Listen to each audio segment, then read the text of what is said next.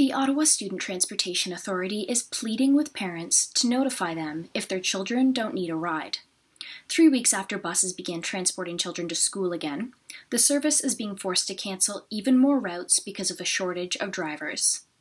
Adding to the problem are children who are signed up for the bus service but use other forms of transportation instead. Some buses might be full on paper but running nearly empty.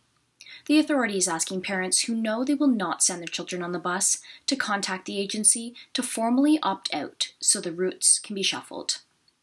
Ontario reported 583 new cases of COVID 19 on Wednesday, while Ottawa recorded 117. In Quebec, 900 new cases were reported, and Premier Francois Legault is now urging Quebecers to stay home unless they're going to school or work.